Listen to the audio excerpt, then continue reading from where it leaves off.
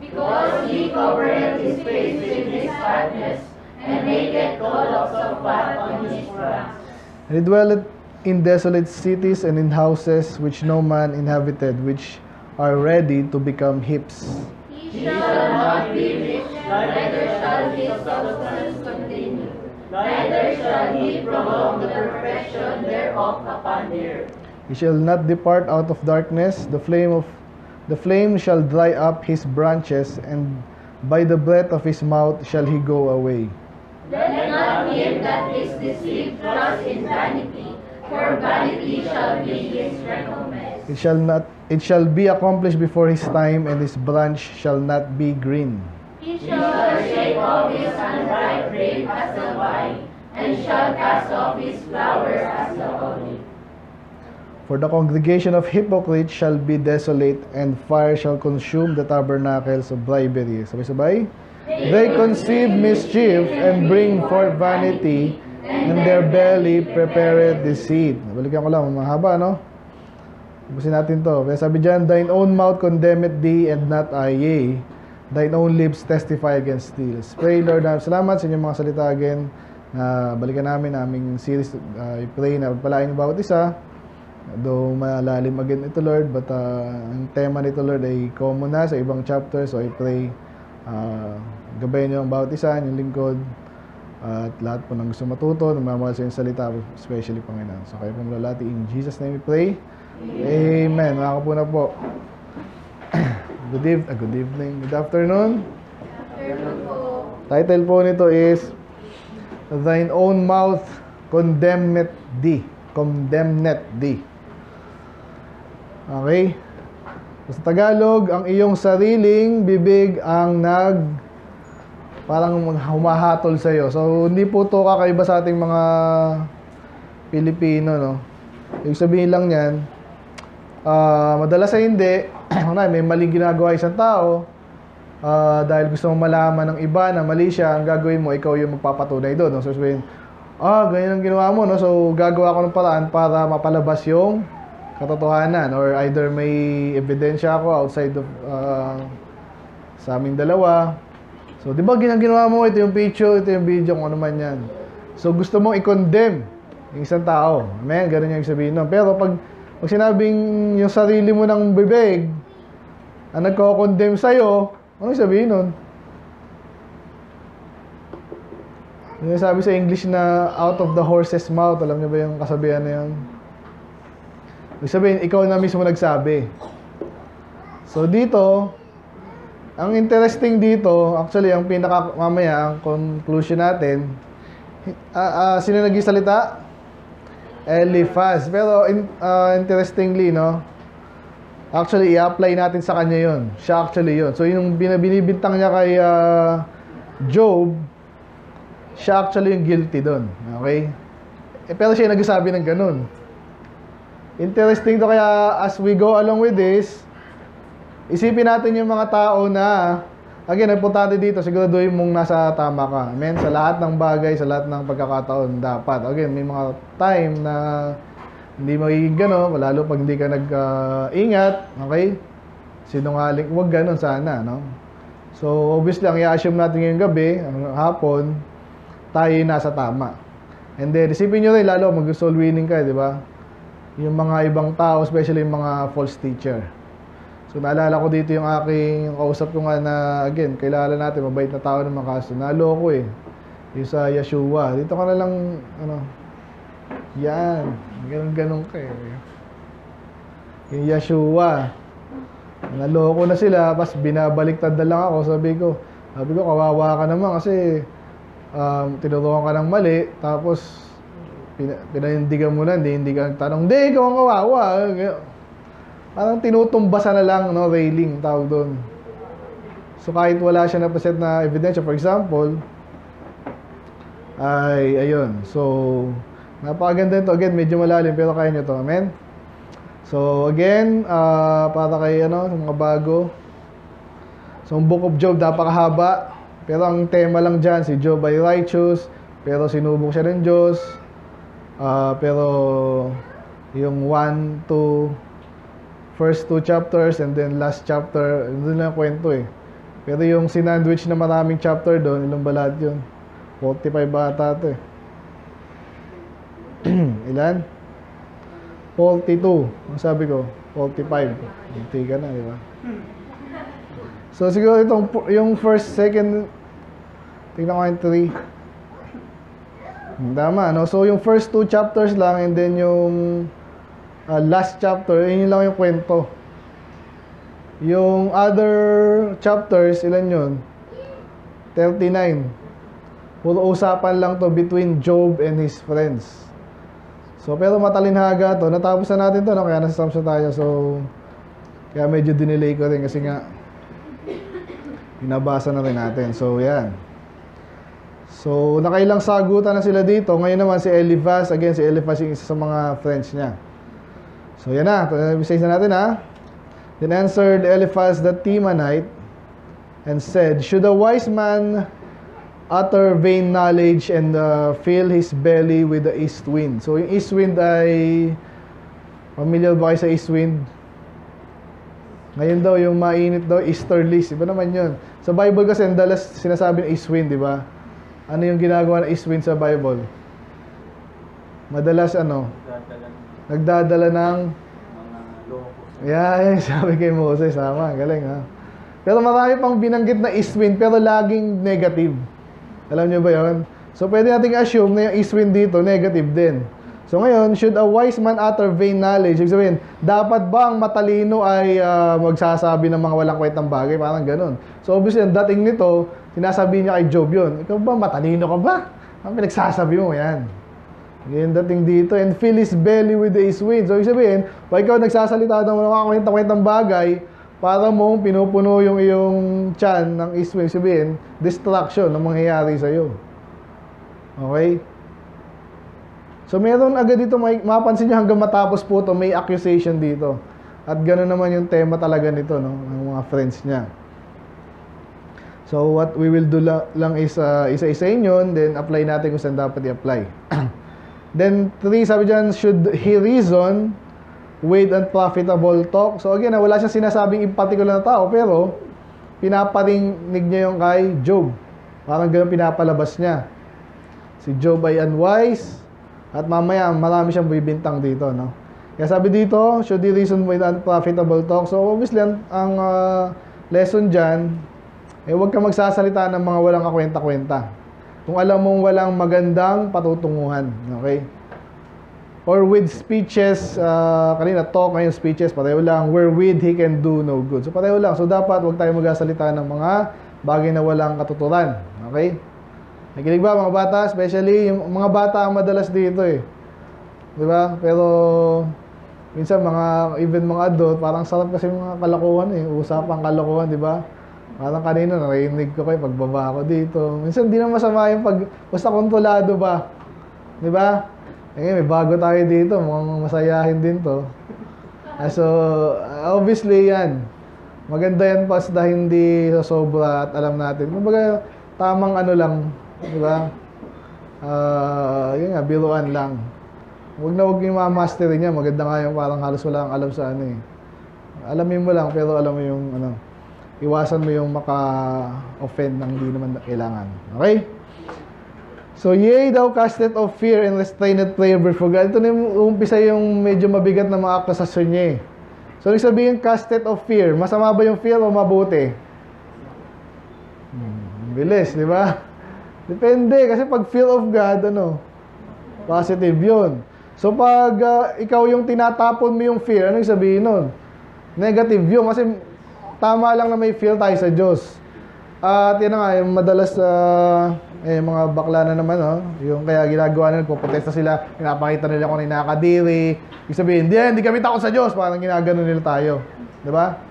At parang gano'n na ina inaakusan kay Job, no? Mabigat. So ikaw, yun, tali-talino ka dyan. Yung mga supposedly matatakot sa Diyos ngayon, hindi natatakot. Parang gano'n, ang bigat naman nun. May ginawa ba sa Job na gano'n? So, wala, I believe, ah.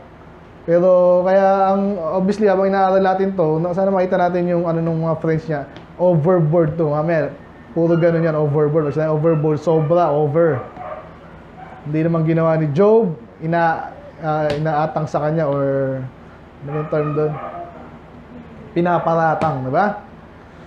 So, iwasan natin yon. So, yon. So, dahil daw kasi kay Job, yung takot daw sa Diyos ay nawawala.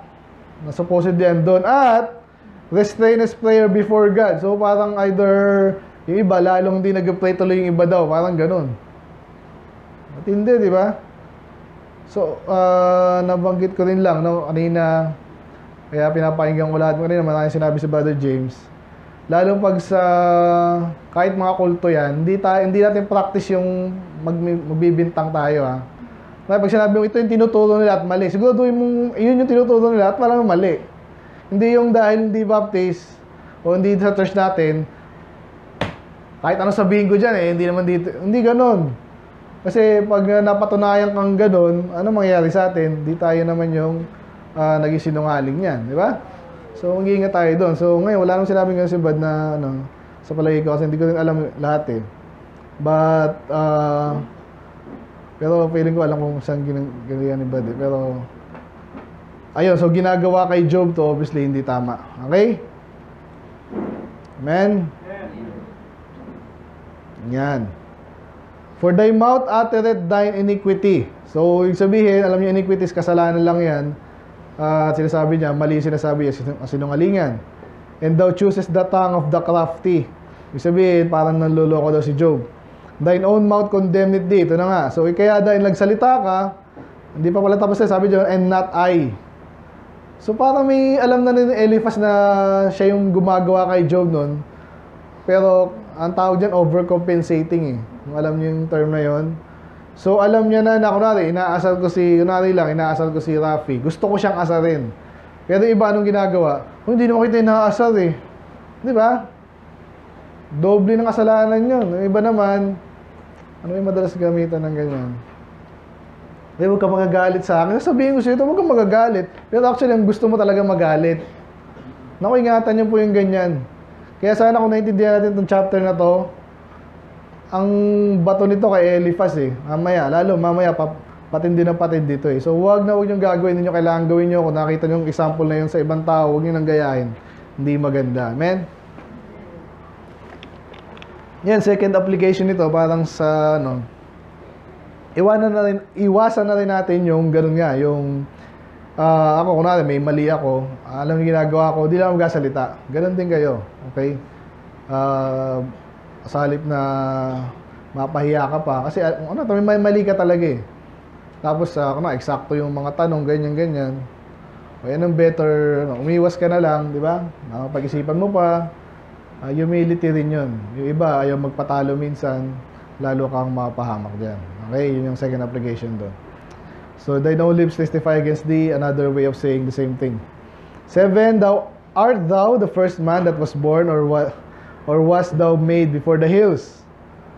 Okay, ito na. Simula dito ata hanggang matapos na to. Ito na yung mga accusation. No? So, pero intindihin natin ba't yung sinasabi yun. So, ano sabi yan? Sa Tagalog, uh, ikaw ba yung una na buhay? Ba't yung tinatanong yun? Kasi parang sinasabi niya, mayabang kay, kala mo, alam mo lahat eh. Ikaw bang una na buhay? Parang ganun. Okay? Mamaya, papasok yung mga lolo dito. Or was thou made before the hills? Ibig sabihin lang, kaya tanda ka na ba? Alam mo, sino ka? Oh, oh, ang gano'n, nangasar. As thou heard the secret of God? Yung mga bagay na secret, no? Yung mga nakakaalam, yung matatalino. Kaya, oh, nakakinig mo ba yon? And does thou restrain, uh, restrain wisdom to thyself? Pag sinabing restrain, parang ganito, ah, uh, maganda, nasa isip ko yung ano eh. Kasi napanood ko last time yung alam niyo ba sa history niyo yung Panama Canal? Panama Canal. Saan yan? Dumadaan yung mga barko. Ah, saan yan? Tinitimbang yung barko. Saan yan? Yan, sa gitna ng South and North America. Ano sa Egypt naman? Ano yun? Ano yung kanal? Suez, di ba? So ngayon daw, ah, nakita dun sa ano, parang gusto nila i-bypass yun kasi nga, kung sino yung nagko-control nun, mapera, lahat ng dadaan doon, pera na, and daming dumadaan doon.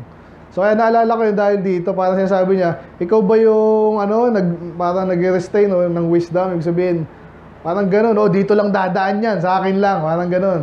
May mga ganyan tao, ka- kahit Soriano, yung perfect example, di ba? Lagay mo ba naman, ikaw lang yung only sensible preacher of our time. Kaya ba nga malaki, tapos yun, nahalata tuloy na hindi tama, di ba? Tayo mga Baptist, never natin sinabi yan.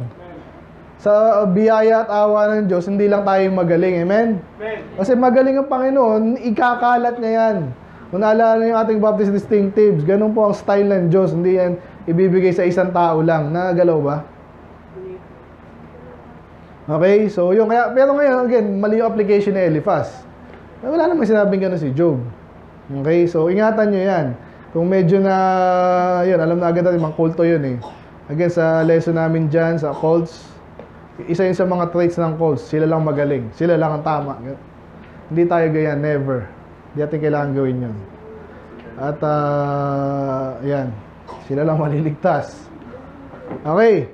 What knowest thou? So, ano lang to, tuloy-tuloy na accusation sa kanya to. Kay Job, what thou, knowest thou that we know not? Parang mga previous chapter anong alam mo na hindi namin alam? What understandest thou that not in that is not in us? Ganun din. With us, our boy, ito na yung mga lolo, di ba? Naalala yung lolo kanina umaga? Wala ka sa lolo ko. Eh, lolo ko, ganyan. Ay, yun lang. Wala ka sa lolo. Ito yun yun. With us, oh, yung mga kasama namin. Matatanda to, ang tanda, sobra. Ba't sa tatanda pa sa tatay mo? Oh. So, again, ganito yan. Parang naalala ko tuloy sa Abante, saka doon sa nakausap kong ano, nag, ta, nag ano nga sa Bible School daw. Di ang usapan eh, sino ba yung ch- chosen people of God? Sabi sa, binasa ko yung ano, hindi, hindi mo maintindihan yung age. Ako 27 or 29 years old. Nag, nag-aral sa Bible School at nagturo sa Bible School. Oh. Hindi mo maintindihan yung age. Dapat mag-aral ka muna sa Bible School. Sagutin mo na lang. Pinag-uusapan. Ba't sasabihin mong nag-aral? Yan. Actually, alam mo na agad na may mali. Lalo pag ang pag-usapan ay wisdom at kung ano yung tama at mali. Ano sabihin mo yung tama? Oh, bilis. Oh. Hindi, hindi maintindihan yan. Nagturo. So, ganun ang ginagamit na style dito ni Elibas na again, iwasan nyo. Ngayon, may mga tamang application nyo. Okay? Pero, pag ganitong katotohanan at katulad mo, pastor siya, pastor ako, ba't, ba't mo magbibilang ka ng taon? Sagutin mo na lang. Oh. Wala. Private yun, pero bandang huli, wala. So, anyway, ganun na style ni Eliphaz, hindi natin dapat gawin yun. And then, are the consolations of God small with thee? Is uh, there any secret thing with thee? So, parang ganun pa rin. Alala ko tuloy yung usapan natin nung kailan, on Thursday, yung mysteries uh, of, ano yun? Godliness, di ba? So, layan di discuss yung kasi yung mga itong mga dispensation, ganun din na naman. Di alam niyo ng mga dating propeta kasi kay Paul lang yan sinabi. Mga ganun pa eh. Pag binasa mo yung sinulat ni Paul, yes, mystery siya, pero hindi sa lahat. Kaya nga naisulat eh. So ngayon, may mga secret, parang secret code na kahit si Daniel nilagay dyan. Pero kung maano ka, hiningi mo sa Diyos, eh ganun din yung kay Jeremiah. Kaya nga sinabi ni, kaya nga inaral ni Daniel yung sinulat ni Jeremiah, for example. Tapos, obviously, pag unang ganyan mo, di mo maintindihan. Pero kaya nag-pray siya, nag-pray siya, Lord, gusto ko maintindihan to. Binigay sa kanya. Ganun din tayo. Okay, hindi yung, again, style ng mga kulto yun, na kami lang nakakaalam. Secret, basta. Hindi tayo ganun, okay? So, pero ito na, again, binibintang kay Job, which is hindi naman. Okay, and then, why that thine heart carry thee away, and uh, what do thy eyes wing? So, ang daming ano, no? So, yung heart carry thee away, alam na natin yun, di ba? Carried away, yun lang yun eh. So, yung puso, bakit puso? Ayan, either mayabang, di ba? Yabang mo kasi kaya yung, pati yung pangunawa mo, nabobo ka kasi, uh, emotion, no? nadala ka ng emotion. Ito namang, what do thy eyes wink at? Ano ba yung wink? Ah, ano yung kindat? Ang kinalaman ng kindat dito? Kailan nyo ginagawa yung ano? Hindi lang guys, obvious na obvious eh. Ano? Eh, Kailan ginagawa yan? Gaya bang, ano pa? Oh, tama, di ba? Di ba? May secret. Ayaw malaman ng isa. Iba pa yung nanga ano, ah, basta dito kasi napansin ko ganun yun eh. So again, so parang sinasabi niya, "Mm, kindat-kindat ka dyan. Ano bang alam mo na hindi namin alam? Yun lang ibig sabihin nun. Secret. Kaya sabi nila, wala kang alam na hindi namin alam. That thou turnest thy spirit against God and lettest such words go out of thy mouth. So, pareho lang, no? Ibig sabihin lang, inakusa nila si Job na may, nagmamayabang at hindi agree ang Diyos sa kanya, samantalang later malalaman natin na at least mas righteous si Job sa kanila. What is man that he should be clean? Ito na. And he which is born of a woman that he should be righteous. Uh, tuloy ko lang to. ah. Behold, he put it no trust in his saints. Yea, the heavens are not clean in his sight. How much more the abominable and filthy is man, which drinketh iniquity like water. Okay, ano yung mga sinasabi dyan? Naala, ito yung madalas mahilig dito mga Calvinist eh. Mga wretched. Mayroong isang Calvinist na ano, wretched ang ano niya eh. Ang title ng ano niya, di ba? Channel niya. Ah, maganda yung ibang sinasabi niya, kaso lagi niyang dinadown yung tao. OA. Okay lang yung minsan. The door is no none righteous, no not one. Tama naman yun. Pero yung talagang binababa niya na pa, Uy, ako ya, ako ano ba? Napakasama ako, napakadumi ko, wala akong, wala akong kahit anong kalinisan at wala, wala, wala talaga. Hindi ako gumagawa ng mabuti. Ayun sinabi sa Bible, ah, pero wag OA. Okay? Kasi lalo to si Job, sinasabi mo si Job ng gano'n eh. Ang description kay Job kan chapter 1, righteous eh. A just man, feared God, sheweth evil. So, yan. So, iwasan nyo rin naman yung gano'n. Okay? So, iba, kaya nga yung, yung Calvinist gano'n eh. Kaya siya, ano tawag nila doon? Yung, yung walang malinis sa akin yung tawag to. Ano yung T? Ano nga yung T? Tulip. Total depravity. Yan. Masabi nila, wala akong kakayanan para maligtas. Tama naman yun. Pero hindi meron. Ayaw mo makintindi. Pero hindi pa totally magliligtas sa'yo. Obviously, hindi mo kaya ligtas sa sarili mo. Maintindihan natin yan. Pero kaya mong mamili. Kaya mong makinig. Pwede kang mamili kung makikinig ka o hindi. Kaya mo yon. So, hindi, wala. Kailangan ibigay mo na yung... Eh, kanino sino binigyan nun? Iba lang. Oo, oh, patay na. Yan ang classic Calvinist. Nakakasunod pa ba iba? Ang kayo sa Calvinist, isa sa mga false teaching na kahit sa mga Baptist pumasok, okay, kaya siyang Diyos daw namimili. Okay, kayong tatlo. Sino kayang gusto kong iligtas ko na? Ako Diyos daw. Sinong ililigtas ko dito? Ito. Bibigyan ako ng grace to para maligtas. Eh, Wala kang magagawa. Basta pag binigay ko sa'yo, woo! Iligtas ka na agad. Ang Diyos daw namili nun. Ikaw, ay gusto ko itong iligtas. Ito, ayokong iligtas, hindi ko bibigyan ng grace. Tama ba yun? So anyway, mabilis lang yun kasi na-touch lang natin eh. So mali yun ha. So again, iwasan nyo rin yung napaka-OA. So tama na yung ano lang, na alam natin na wala tayong magagawa para iligtas sa sarili natin. Pero don't go overboard. I will show thee hear me that which I have seen, I will declare. So ito, ah, ito na yung, again, yung mga obser- sarili niya observation, sinabi naman niya eh. So in a way, tama to na kung ano yung observe mo, yun ang ano mo, huwag kang mag ah, invento, no? So, kaso ano yung mga observation niya at sasabihin niya, declare niya.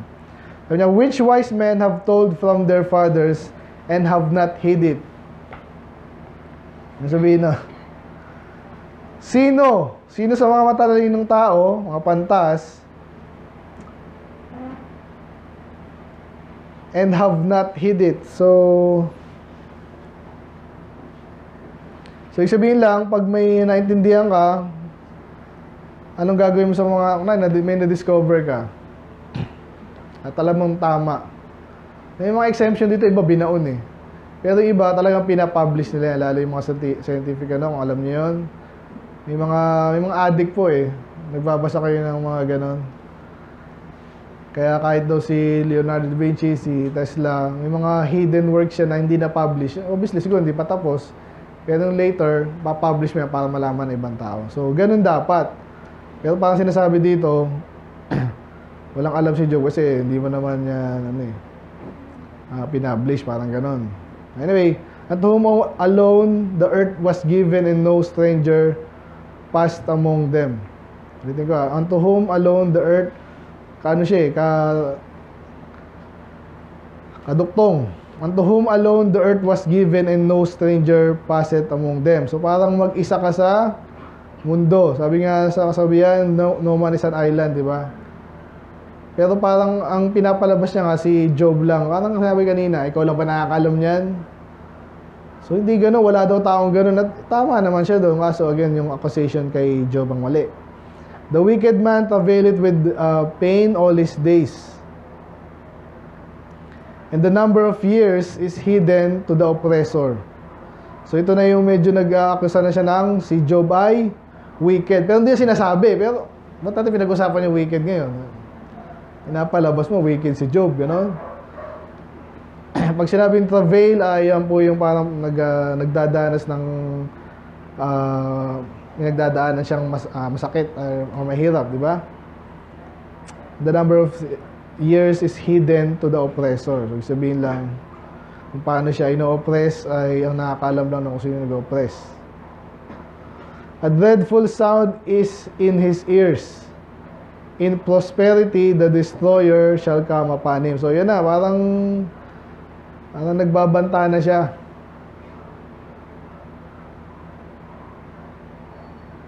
Yari ka. Parang ganun. Eh, alam naman natin si Job ay mayaman. Dati. Tapos nawala. So, ano sinasabi nito? Kaya ka nawala yung ano mo eh. Wicked ka kasi, okay? Bigat. He believeth not that he shall return out of darkness, and he is weighted of the sword. So, anong sabihin ng uh, darkness? So, negative lagi yan, di ba? Madalas. Okay? So, doon na sa second part muna tayo. And he is weighted for of the sword. So, madalas ginagamit yung sword. Pag Patay. pagpatay ng tao, eh pag hinihintay ka na ng sword, yun yung sabihin nun. Yari ka, parang ginaganon siya. So ano ngayon yung he, bel- he believeth not that he shall return out of darkness? Parang parang sinasabi diyan na sigurado kang ano, yari ka. Parang ganun din, basically. Ayan. Parang ganun. Okay? He wandereth abroad from bread, saying, Where is it? He knoweth that the day of darkness is ready at hand. So parang in- ini-expect niya na, pag wicked ka daw, nako, tapos ka. Ano sinasabi? Pa- pa- Pareho lang eh. Again, the same, uh, saying the same thing with differently. Ganyan ang ano eh. Yan ang mga style sa literature para habang binabasa mo, paulit-ulit sa utak mo. Ganyan yan eh. Trouble and anguish shall make him afraid. They shall prevail against him as a king ready for battle. So, familiar ba kayo dun sa ano? Imagine niyo yung hari, ready for battle. Anong ano na? Anong pinipicture nun? Parang Proverbs din, kung naalala niyo sa Proverbs, yung mga tamad daw, ano daw, poverty shall come out, come to him like an armed man, di ba? Sabihin, may armas. So, sino mga kalaban natin? Kung may kalaban ka lang, kunwari, si ito, matangkad to. Hindi ako, kunwari, tangkad nito, ah, kaya ko to, kaya ko to, pero, kaya ko. Eh kung may baril, eh kung tangke yung dala, eh paano ang hari? Na marami papa. So, yung sabihin nito, sigurado nga, yung sabi ko kanina pa, yari ka, parang ginaganon siya. Yayariin ka. Tapos ka, parang tinatakot na siya. For he stretched out his hand against God and strengthened himself against the Almighty. So yun nga, ang accusation kasi sa kanya, kinakalaban mo ang Diyos eh. Bigat, no? So, ah bago natin to tapusin, gusto ko lang ipasok na yun nga, kung nari, may, may nakikita yung tao, sabi natin totoo na, kung nari, meron ditong batang ayaw mag-aral, di ba?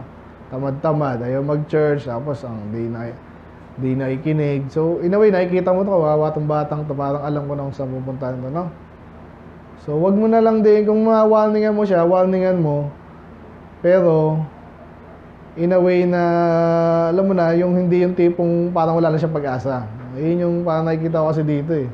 Galit talaga sila kay Job eh, hindi sila friend. Ah, friend lang sila sa nating siguro outwardly. So, hindi maganda. Okay. He ran upon him, even on his neck, upon the thick bosses of his buckler. So, ano yung bosses? Ano yung buckler? Ano yung buckler? Shield. Yan. Yung mga ano eh. Ano yung bosses? Hindi yan voice ah. Hindi nagkakamali. Ito yung parang parte ng ano. Parte nung parte nung mismong ano, kalasag. Ayan, a raised stud. Okay, basta ayan, an ornament projecting block used in architecture. So, merong minsan nilalagyan na ng extra bakal yan, di ba? Para pag ganun. Well, kahoy lang yan, lalagyan pa ng bakal na medyo may ganun-ganun, di ba? Pampatibay lagi, no? Ngayon, ulitin natin ito. He ran it upon him, even on his neck, upon the thick bosses of his buckler. So, ibig sabihin, ano, para kang papatayin talaga, ah, parang pinupukpok. Because he covered his face with his fatness, and make it collops of fat on his flanks. Ano yung collops? Nakakalam. A small piece or slice, especially of meat. A fold of fat flesh. Yun. Ibig sabihin nito, ang kapal ng mukha mo kasi. At hindi lang, ano yung flank?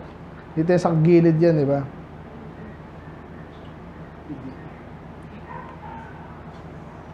Yan, a fleshly part of the side between the ribs. So ito nga. Pigi. Okay. So yan. So parang sabi dito, ah, kinakalaban mo ang Diyos tapos ah, nagpapa tibay ka sa sarili mong kakayanan, no? Kapataba ka pa, pero babanatan ka rin. Parang ganun. Ito na, yung mga medyo end, ano na.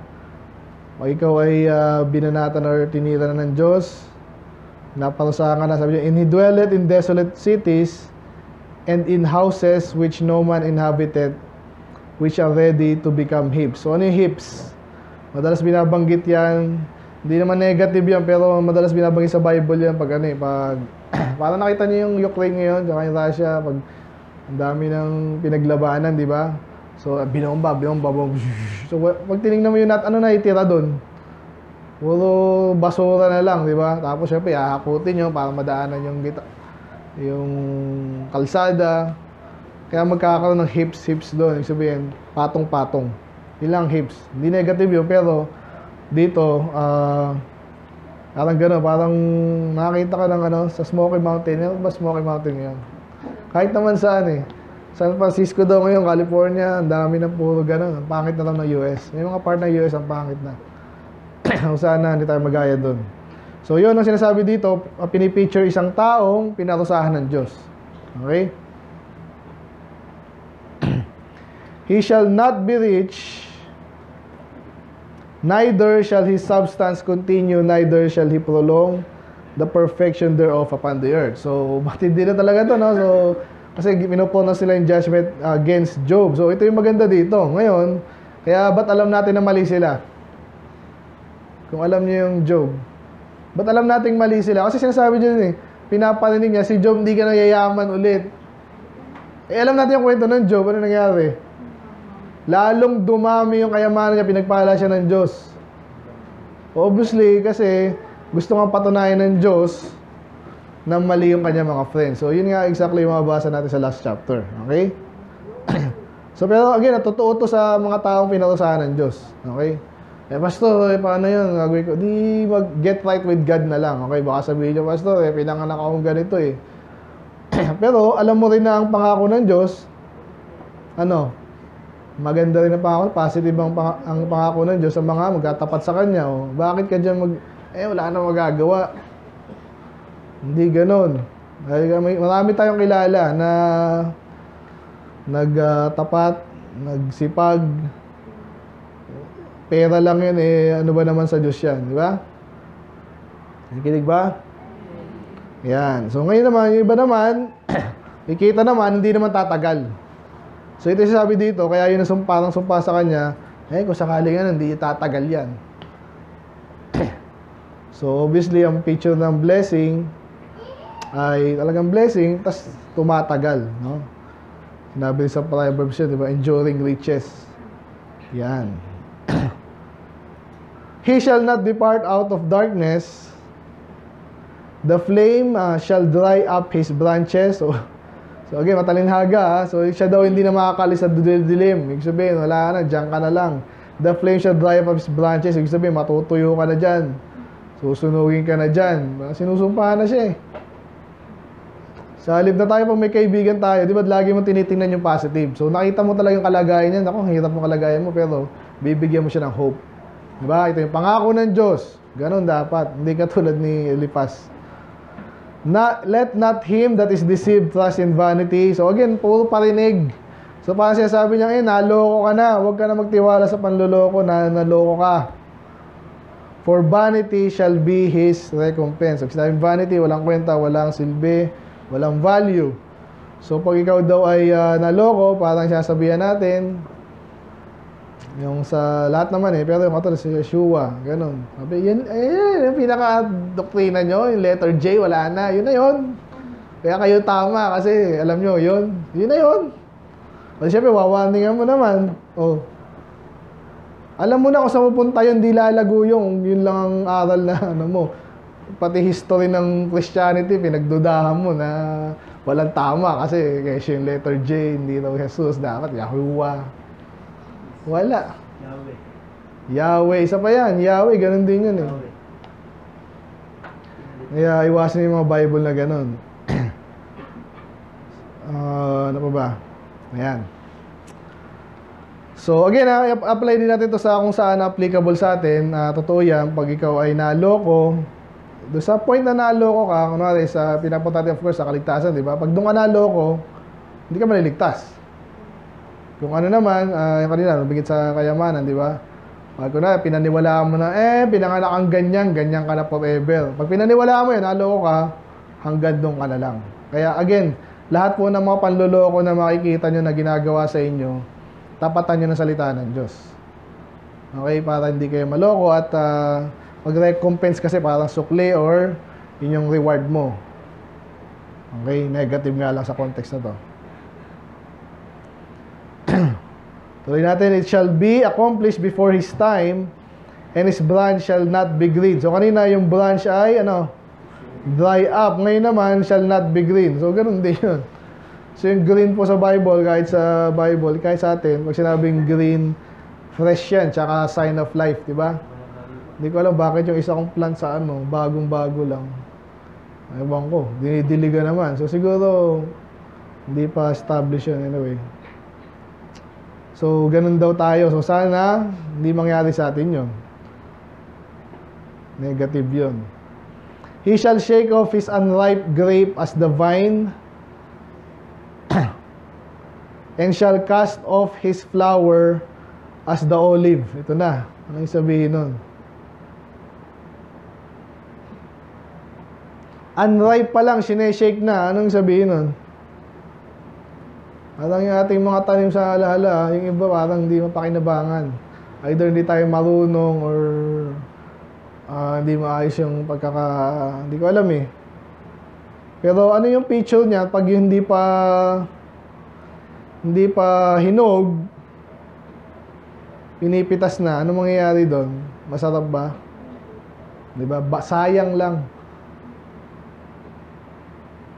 Eh yung flower, ano naman yung kinalaman ng flower? Eh di ba dyan nag-umpisa yung bunga? Kapag nakita mo na hindi namumulaklak, hindi lalo rin magbubunga yun. Pag namumulaklak ka, magbubunga yun. So, pareho lang to. Ibig sabihin, nasasayang yung mga blessing na supposedly sa kanya na. So again ha, ina-apply yan kay Job, hindi naman dapat. Pero in a way, dahil sinusubok nga siya, yan ay uh, in a way somewhat applicable sa kanya. Pero again, kung kaibigan ka, huwag ka mag sa negative. For the congregation of hypocrites, ito na. Hindi napansin ko kay Eliphaz eh. Yung lumalabas na sa bibig niya yung, ah, yun nga, sabi sa 6, thine, thine own mouth condemneth thee. So, nakita natin to later, si ah, Job ay ipopromote ng Diyos, i-justify siya. Kanino ngayon applicable to? Hindi kay Job, kay Eliphaz, di ba? So kasi hypocrite siya. Ngayon, hindi naman niya kasi alam talaga na nagkasala ba si Joey. Bakit siya nag nagpuputak-putak dito, no? So, yan yan eh. Kaya applicable sa kanya for uh, the congregation of hypocrites shall be desolate and fire shall consume the tabernacles of bribery. So, ano tayo muna dito? Anong kinalaman nito? Anong uh, relation ito? Sinabing tabernacles lang, eh, ito yung bahay. Okay, tent, di ba? So, ano yung bribery? Alam niyo, masamang gawain niya, di ba? Pag manunuhol, di ba? So, ano sinasabi niya dito? Pag ikaw nanunuhol, anong gusto mo, anong ginagawa mo pag nanunuhol ka? Bino, yung hindi dapat sa'yo, no? Ah, binibili mo, tama, no? So, merong, merong something dun, merong pagsisinungaling dun, di ba? Kung sample, nga, sa exam, nabalitaan akong ganyan, ha? yung, ah, yung kanilang review center, okay, ECE yun. Binigay sa kanila yung parang one-third nung ano, exam. Kasi nga, ang ano yan, pagalingan yan, kahit yung mga review center eh. Ay, yung mga nag-aaral sa amin, nakakapasa. Ilang percent? Oh, laki nun na. Siguro magaling talaga kayo, di ba? So, ah, hindi pala, no? Kasi nandadaya. Yung iba naman ay, ano ba ba? Ano natin pwedeng applyan? Bribery. Eh, lalo na kunwari sa mga, kunwari, nag-aagawan ng lupa, ganyan. Kunwari, may lupa siya, may lupa siya. Hindi, sa akin yan, hindi, sa akin yan. Sige, magdemandaan tayo. Oh, yung judge na magaling, alam niya yan. Ano, eh, binili mo pala yung judge. O, kita mo, tama ako. Pero alam mo, hindi. Sinungaling ka. Kaya sabi dito, fire, fire shall consume the tabernacles of Bible. It's been negative again to, no? Pag uh, briber ka, sinungaling ka, hipokrito ka din, may judgment ang Diyos sa'yo. Ganun lang sabihin nito. Pag sinabing desolate, ganun pag sinabing desolate, ayun desolate. Anong picture ng desolate? Para kang walang natira sa'yo. Diba? Alala ko na naman yung gera doon. They conceive mischief and bring it forth vanity and their belly prepare it for deceit. Napakatalinaga, no? Ano yung conceive? Nag-iisip. Mischief, panluloko. So, uh, nag-iisip sila, paano maluloko to, paano maluloko to. and bring it forth vanity. So, anong, anong bunga niyang panluloko mo? Minsan, makakakuha ka, pero bandang huli, ano? Wala. Pwede mo sabihin, pwede mo pag malaki yun? Nakita mo yung sakya ko, kaya... Dami ang nako niya kasi sobrang galing ko. Dami nag... Yung pala, nina, either nandaya ka, di ba? Hindi mo pag malaki yun. Walang kwenta bandang huli. Vanity, deceit, panluloko. So ngayon, yan. And their belly. Ba't belly? Napunta yung belly. Eh, di ba madalas, ah, again, yung mga, bakit ang tawag natin sa mga politikong, ano, buwaya. Bakit ganon? Nakita na yung buwaya kung paano, ano, di ba? Mga, ay, Work barrels lang. Pork barrel na yan. Ngayon, Malaya fan. Niloloko tayo itong mga to. Napolis daw na ano na. Tagal naman nun.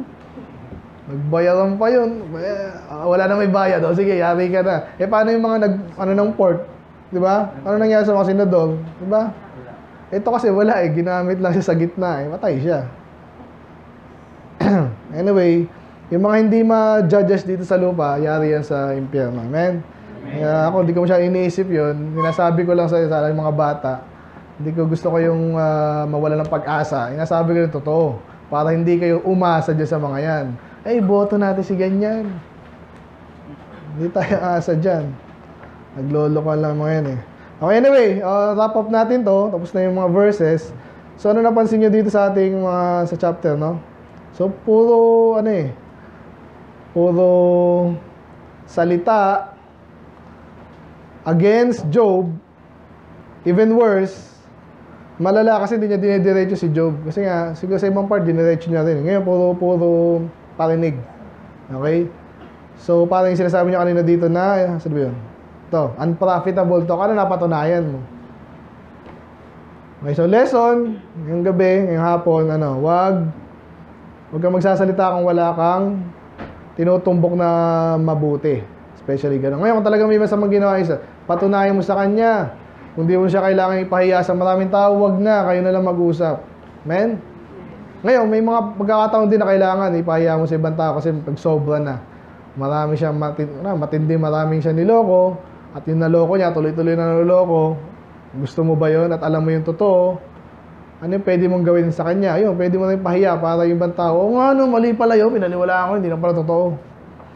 So, naisalba mo yung ibang tao at yung mga future na posible niya maloko. Okay? Yun, yun yung exemption dun ha. So, yan. So, kaso sa case ni Eliphaz, again, mali siya, pinatunayan later sa book. And then, yun nga. So, yeah, ito, ito, mag-ingat kayo dito. So, pwedeng, sinabi nito ng Panginoon, di ba? By thine own mouth, thou shalt be condemned. Saan ba sinabi yun? Romans ata.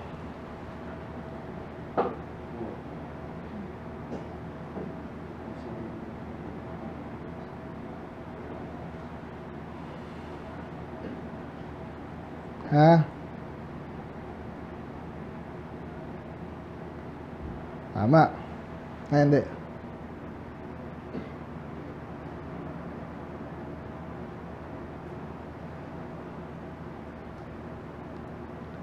Kalimutan ko yung actual word pero sabi doon yung sinasabi mo siya rin yung mag ko-condemn sa iyo.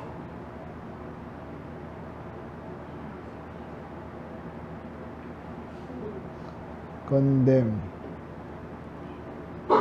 Yan na nga eh. Meron niya sa New Testament. So, anyway. So, yun. So, anong lesson doon, mga bata? Mag-ingat sa mga sinasabi nyo. Kaya nga, alala ko tuloy yung batas. Meron sa batas sa US na inadapt dito, yung tinatawag na fifth. Alam niyo yung fifth? Ay, fifth amendment. Sinabi nilang, I invoke the fifth. Ano sabihin nun? Sabihin, pwede akong hindi magsalita para hindi ako makondemn.